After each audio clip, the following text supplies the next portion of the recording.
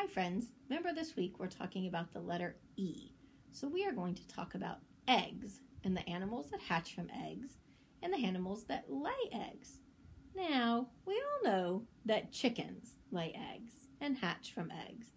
But, like this book says, chickens aren't the only ones. There's lots of animals that hatch from eggs or lay eggs, and those animals are all called oviparous. Oviparous animals lay eggs or hatch from eggs. That's kind of a big word, isn't it? So, first we're going to read the book, and then we're going to play a game where we guess what kind of animal is going to hatch from our eggs. Let's see. Chickens lay the eggs you buy. The eggs you broil or fry. Or the eggs you dye. See all the Easter eggs when we dye them? Or leave alone so you can see what grows inside naturally.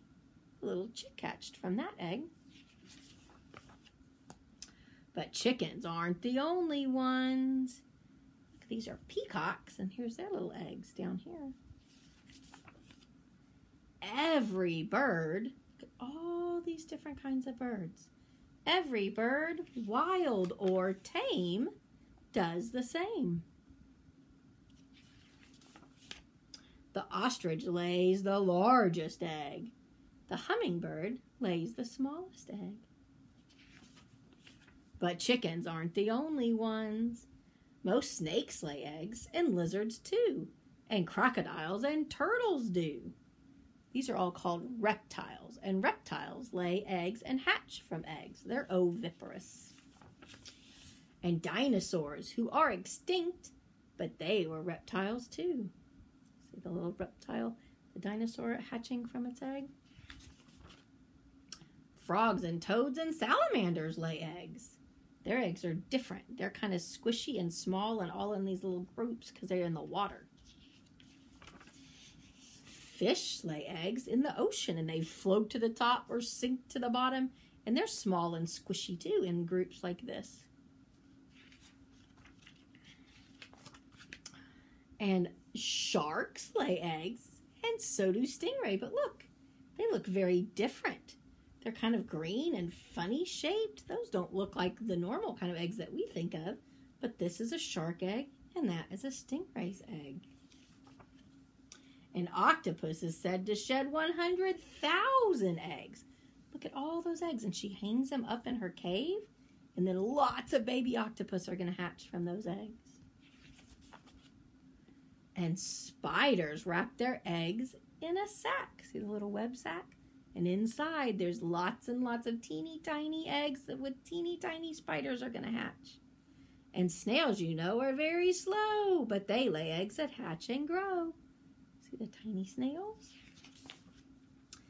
Insects, look at all these different kinds of insects. They all lay eggs. They have six legs and lay many different kinds of eggs.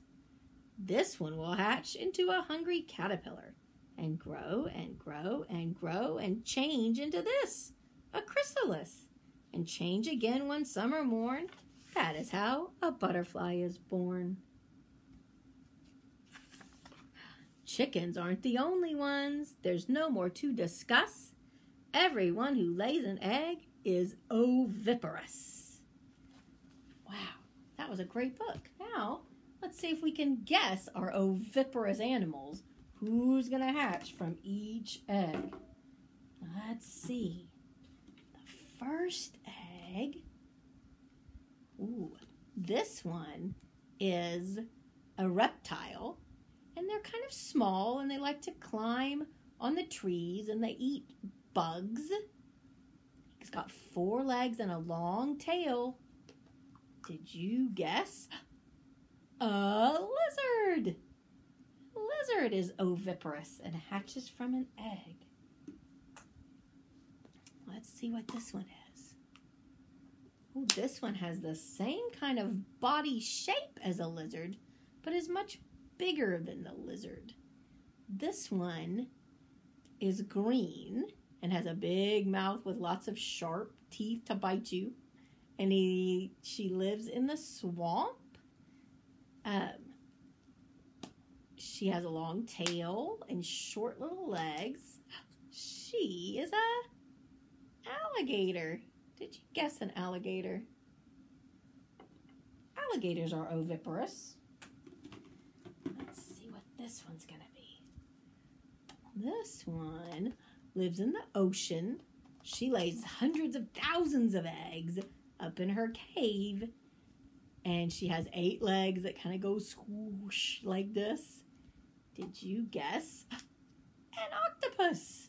An octopus is oviparous and lays eggs.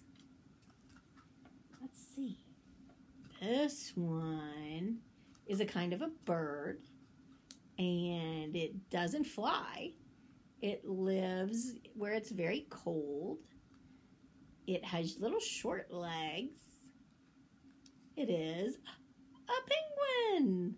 Did you guess that one? Hmm, let's see. What is in this egg? What kind of oviparous animal?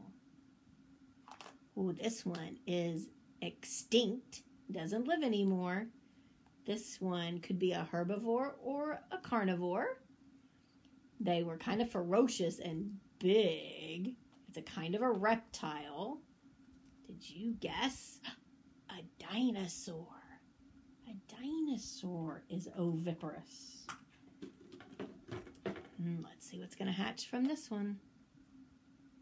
Oh, this one's another kind of a reptile, but it's long and skinny and it doesn't have any legs at all. It slithers around on the ground with its long tongue, and if you're not careful, it might bite you. See, did you guess? A snake is oviparous. Snakes lay eggs. Hmm, wonder what's inside this one.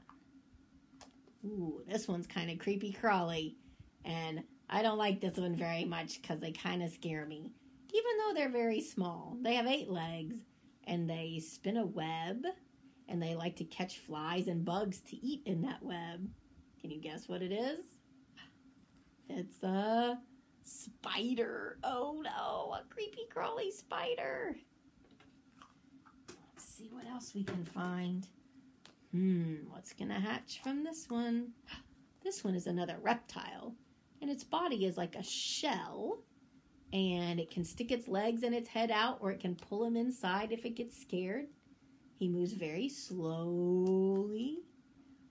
Um, this one can go in the water or on the land. Let's see what this one is. A turtle. Did you guess a turtle? Turtles are oviparous. Mm, let's see what this one is. Oh, this one is another kind of a bird. It likes to live in the jungle and it has feathers and it can fly. It has a very long beak. The beak is like its mouth and it's a very colorful beak. This one's kind of tricky. You might not have ever heard of this one before. This one is called a toucan. A toucan is oviparous. It lays eggs and hatches from eggs. Hmm, let's see what this one is. Oh, this one is an amphibian. It goes in the water and it goes on the land. This one likes to hop, hop, hop all around or jump, jump. And it likes to eat flies and bugs. It likes to say ribbit, ribbit, ribbit. I bet you guessed it. A frog. A frog is oviparous. I have three more. Let's see what this oviparous animal is. Ooh, this one's another kind of a bird. And a lot of times you'll see him down by the pond and you can maybe go feed bread to this kind of bird.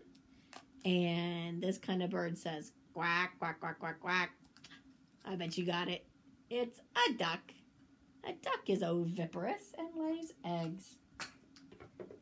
Let's see. This one, ooh, this is another creepy crawly one that's usually pretty small. And there's all different kinds of them. They only have six legs instead of eight legs like a spider. Let's see, this one was a beetle, a little bug.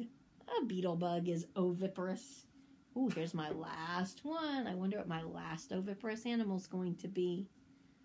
Hmm. Ooh, this one's kind of cool. This one you maybe see at the beach, and it likes to go on the sand and scuttle sideways. It has little pincher claws. Did you guess? A crab.